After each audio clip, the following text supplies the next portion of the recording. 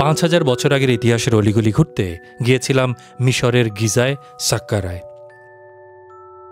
এখানে মানব সভ্যতার বিস্ময় হয়ে দাঁড়িয়ে আছে পিরামিডগুলো। সেই পুরনো রাস্তা ধরে, সেই পুরনো অঞ্চলগুলো ধরে আপনি হেঁটে যাচ্ছেন। এটার অনুভূতি অন্যরকম। আমি গিয়েছি পিরামিডের ভেতর সেই সব প্রাচীন প্রকোষ্ঠে, যেখানে মমিগুলো অমরত্বের আশায় শুয়েছিল হাজার হাজার বছর। ষষ্ঠর যে ডাইনাস্টি, সেই ষষ্ঠ ডাইনাস্টির একটি মমি এখানে রাখা ছিল। পড়তে চেষ্টা করেছি হিয়েরোগ্লিফিক্স বা ছবি দিয়ে লেখা অতি প্রাচীন ভাষা। দেখা পেয়েছি সিংহমানব স্ফিংসের দেখেছি প্রাচীন রাজধানী মেমফিসের ধ্বংসাবশেষ। মরুর বুকে উটের পিঠে চড়ে দেখেছি গিজা উপত্যকা।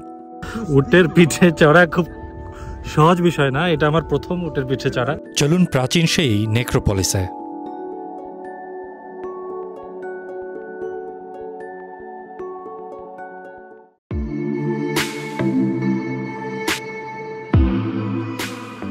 সাহারা মরুর বুকে সকাল হয়। সূর্যকে জ্যামিতিক অভিবাদন জানায় বিরাট এই পাথুরে পিরামিডগুলো। পাঁচ হাজার বছর আগে যে উপত্যকা জেগে উঠত, প্রাচীন মিশরীয়দের অদ্ভুত নানা নিরীক্ষায় সেখানে আজ পর্যটকদের, ইতিহাস পিপাসুদের আনাগোনা।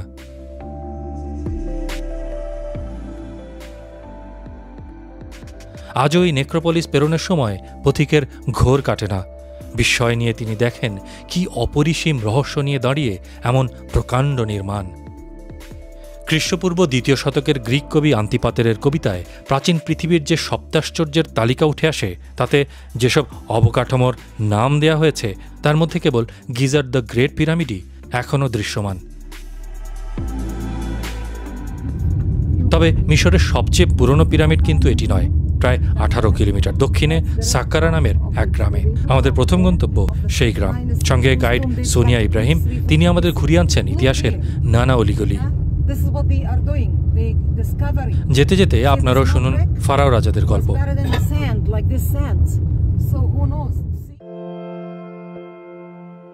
খ্রিস্টপূর্ব ত্রিশ সালে রোমানরা মিশর দখল করার আগে এই অঞ্চল শাসন করেছে তেত্রিশটি রাজবংশ মোটা দাগে এই রাজাদেরই ফারাও বলতেন স্থানীয়রা।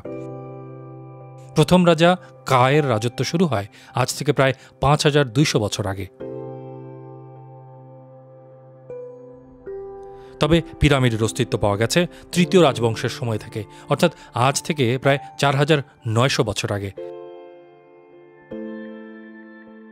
তার মধ্যে সবচেয়ে পুরনো ফারাও রাজা জোসারের পিরামিড, একে স্টেপ পিরামিডও বলা হয়। চার পৃষ্ঠ ও ছয় ধাপের এই পিরামিডের উচ্চতা দুশো পাঁচ ফুট। এটি পুরোপুরি চুনা পাথরে মোড়ানো ছিল। আজ অবশ্য তা বোঝার উপায় নেই।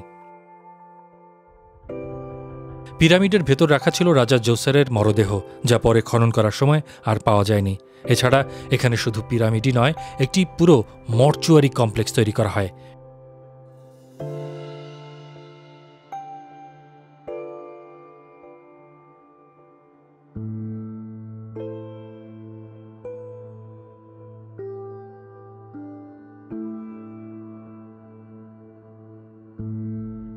সেখানে উল্লেখযোগ্য আড়াই হাজার ফুট বিস্তৃত এই পরীক্ষা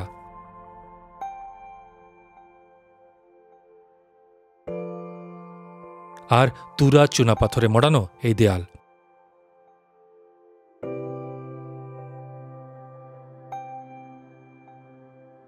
Feel the difference between original and what had been restored. Using same stone, using same limestone. should be 5,000 years old. It is 2700 BC. Saqqara গ্রাম জুড়ে বিভিন্ন রাজবংশের সময় তৈরি আরও অনেক পিরামিড পাওয়া গেছে। রক্ষণাবেক্ষণের কাজে স্টেপ পিরামিড বন্ধ থাকায় আমরা ভেতরে যেতে পারিনি। তবে যাচ্ছি পাশেই ষষ্ঠ রাজবংশের রাজা তেতির পিরামিডের ভেতর। আজ উপর থেকে পাথরের ঢিবির মতো দেখালেও এর ভেতরে রয়েছে আশ্চর্য এক আবিষ্কার। See, this is what they did. During the clearance, clearing it from sand.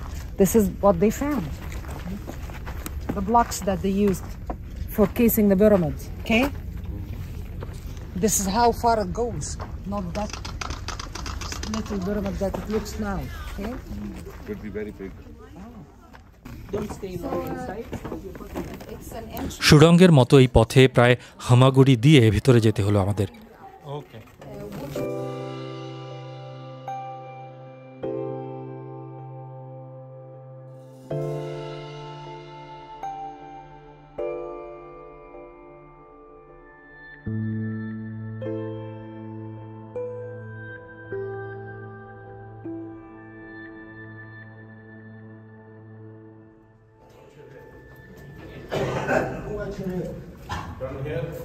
ভেতরে পৌঁছেই স্তব্ধ হয়ে গেলাম। পিরামিডের ভেতর দুই প্রকোষ্ঠ, সেই প্রকোষ্ঠের দেয়াল জুড়ে হিয়েরোগ্লিফিক্স বা ছবি দিয়ে লেখা যেন এক মহাকাব্য।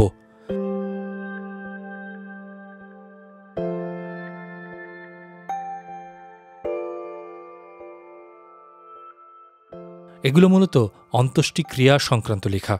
ফারাও রাজাদের কাছে ধর্মীয় উপাসনা অনেক গুরুত্বপূর্ণ ছিল, তাই ইহ ও পরজগতের যোগাযোগ স্থাপন করাই ছিল এসব পিরামিড বানাবার উদ্দেশ্য এবং এই লেখাগুলো সেই যোগ স্থাপনের মন্ত্র।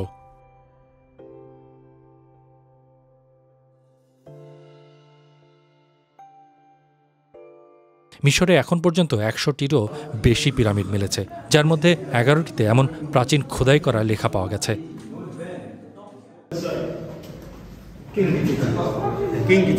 আমরা এখন এসেছি সাকারাতে, একটি একটি একটি পিরামিডের নিচে। এবং এটি হচ্ছে ষষ্ঠর যে ডাইনাস্টি, সেই ষষ্ঠ ডাইনাস্টির একটি মমি এখানে রাখা ছিল। এই যে টমটি আপনারা দেখতে পাচ্ছেন, এই টমের ভেতরে, এই এটির ভিতরে ছিল সেই মমিটি এবং এটিকে এখন জাদুঘরে নিয়ে যাওয়া হয়েছে। ষষ্ঠ ডাইনাস্টির টিটি তার এই মমিটি ছিল।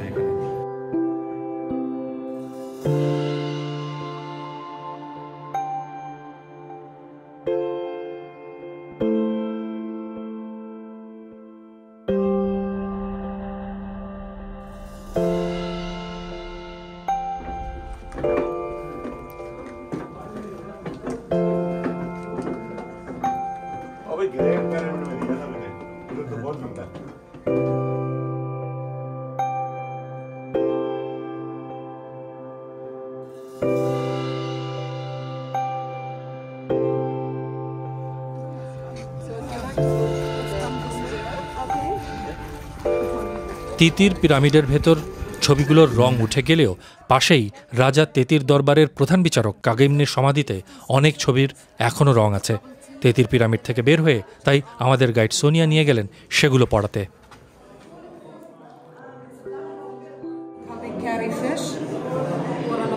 Look at this upside down fish. Look at the catfish. Look at the shapes.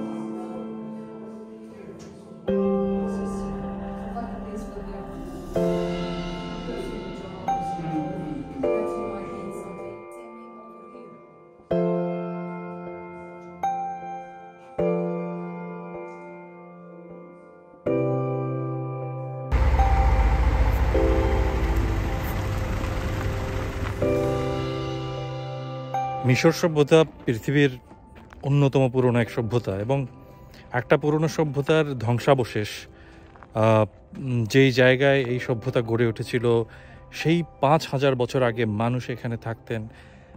এই জায়গাটি সেই মিশর, মিশরের তখনকার যে রাজধানী, সেই রাজধানী গড়ে উঠেছিল নীল নদের ধারে এবং সেই সভ্যতার মধ্য দিয়ে আপনি সেই পুরনো রাস্তা ধরে, সেই পুরনো অঞ্চলগুলো ধরে আপনি হেঁটে যাচ্ছেন।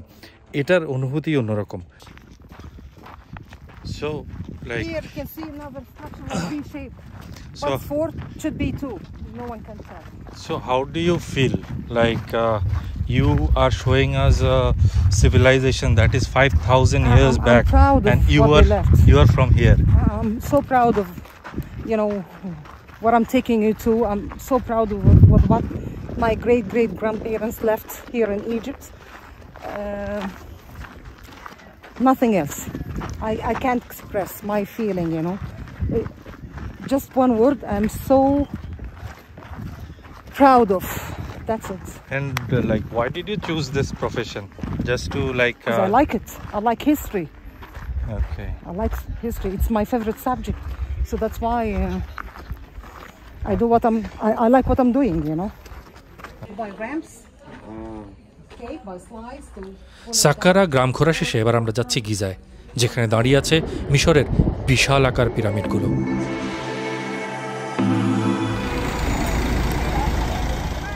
বাইরে থেকে টিকিট কেটে ঢুকতে হয় পিরামিড কমপ্লেক্সে। আবার প্রতিটি পিরামিডের জন্য আলাদা প্রবেশ ফিও রয়েছে। আমাদের টিকিটগুলো গাইডই কিনলেন। ভেতরে ঢুকতেই মুখোমুখি হলাম চার হাজার ছয়শো বছর ধরে মানুষের বিস্ময় দ্য গ্রেট পিরামিডের। নতুন করে বলার কিছু নেই, আমি কোথায় দাঁড়িয়ে আছি? আমি দাঁড়িয়ে আছি পৃথিবীর যে সপ্তাশ্চর্য, সেই সপ্তাশ্চর্যের সামনে, তার একটির সামনে, সেটি হচ্ছে মিশরের পিরামিড। আমার পেছনে যদি দেখছেন এটি হচ্ছে সবচেয়ে বড় পিরামিডটি, এবং এই পিরামিডটি তৈরি হয়েছে, এই যে আমার যে গাইড ছিলেন, তিনি বলছিলেন যে যতগুলো ব্লক আছে, সেই ব্লকগুলো প্রায় বিশ লাখেরও বেশি ব্লক দিয়ে এই বিরাট এই স্থাপত্যটি তৈরি করা হয়েছে। এবং যেটি আসলেই একটা বড় আশ্চর্য। আমরা যাচ্ছি ভেতরের দিকে, আমরা আপনাদের আরও বিস্তারিত দেখাবো এই মিশরের পিরামিড।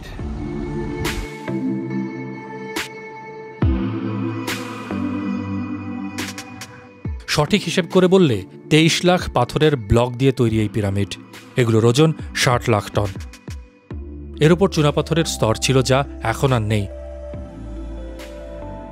চুনাপাথরের স্তর সহ এর উচ্চতা চারশো একাশি ফুট আর সেটি ছাড়া চারশো চুয়ান্ন ফুট। অর্থাৎ আমার উচ্চতার অন্তত পঁচাত্তর জন মানুষ একজন আরেকজনের উপর দাঁড়ালে এর চূড়া ছোঁয়া সম্ভব। এটি চতুর্থ ফারাও রাজবংশের দ্বিতীয় রাজা, খুফুর কবর। এখন প্রশ্ন হলো, হাজার হাজার বছর আগে লাখ লাখ টনের পাথর বসিয়ে এমন বিশাল আকার অবকাঠামো নির্মাণ সম্ভব হলো কীভাবে? সেটি আজও বিস্ময়। তবে গবেষকদের হিসেবে রাজা খুফুর নির্দেশে এই পিরামিড তৈরিতে তেরো থেকে চল্লিশ হাজার শ্রমিকের কমপক্ষে সাতাশ বছর লেগেছে।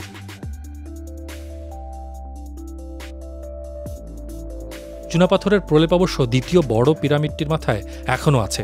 এই পিরামিডটি হল রাজা খুফুর পুত্র খাফরের কবর। তার পিরামিডের উচ্চতা চারশো আটচল্লিশ ফুট।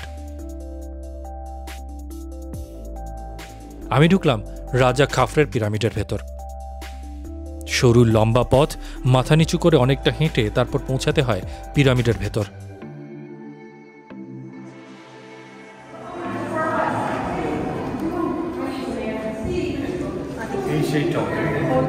যেখানে রাজার যে ছেলে, যিনি পরে পরবর্তীতে আবার রাজা হয়েছিলেন, তার মমি এখানে ছিল।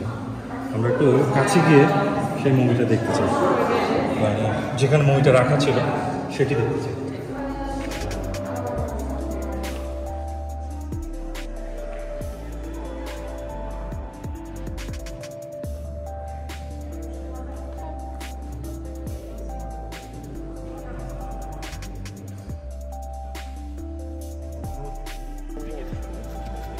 এই পিরামিডটি থেকে বের হতে হতে ভাবি, কি আশ্চর্য, একজন মানুষকে কবর দিতে কি বিরাট আয়োজন। গিজার এই পিরামিড কমপ্লেক্সে তিন রাজার তিনটি বড় পিরামিড ছাড়াও রয়েছে তাদের পরিবারের সদস্যদের আরও ছয়টি ছোট পিরামিড। এই পিরামিডই শুধু আমাকে বিস্মিত করে, তা নয় পাঁচ হাজার বছর আগে কেমন করে এই জনপদের মানুষ মমি বানানো আবিষ্কার করলেন, তা আরেক বিস্ময় আমার গাইড সোনিয়া বললেন, মমি বানানোর জন্য তারা রাজা বা রানী অথবা নির্দিষ্ট ব্যক্তির মৃত্যুর পর তার শরীরের পচনশীল অংশগুলো বের করে তা শুকিয়ে ফেলা হতো। তারপর লিনেন কাপড় দিয়ে শরীর ও অঙ্গগুলো বেঁধে ফেলা হতো। পুরো প্রক্রিয়ায় চল্লিশ দিন লাগত। ফারাও রাজা তুতেন খামুন রামেসেস সেতি সহ অনেক রাজা ও রানীর মমি পাওয়া গেছে। গিজা কমপ্লেক্সে এছাড়া রয়েছে পৌরাণিক চরিত্র স্ফিংসের বিশাল এক ভাস্কর্য।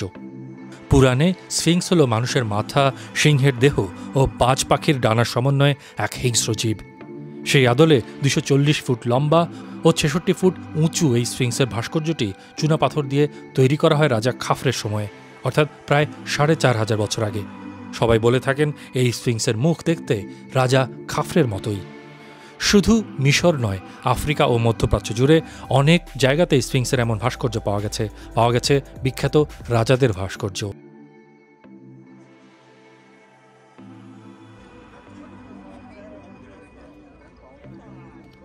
পিরামিড আর ফারাও রাজাদের ইতিহাস খুঁজতে খুঁজতে কখন যে বেলা হলো, বলা মুশকিল। কিন্তু মরুর বুকে এসে উটের পিঠে চড়া হবে না, তা তো হতে পারে না।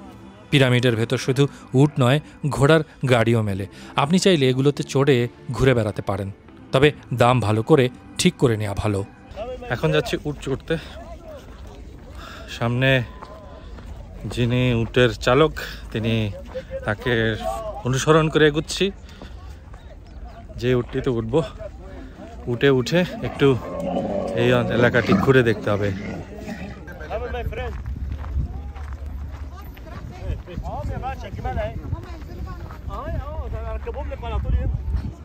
يلا دي عبد الله خدهم انت ولا الو- الواد هيروح بدور تعالى ورايا انت انت ورايا خد انت وخد انت وروح Hold it here and lean back. خد يلا يا عبد الله هنا دول. دول الستة وتعالى برضه lean back. Come my friend, come in.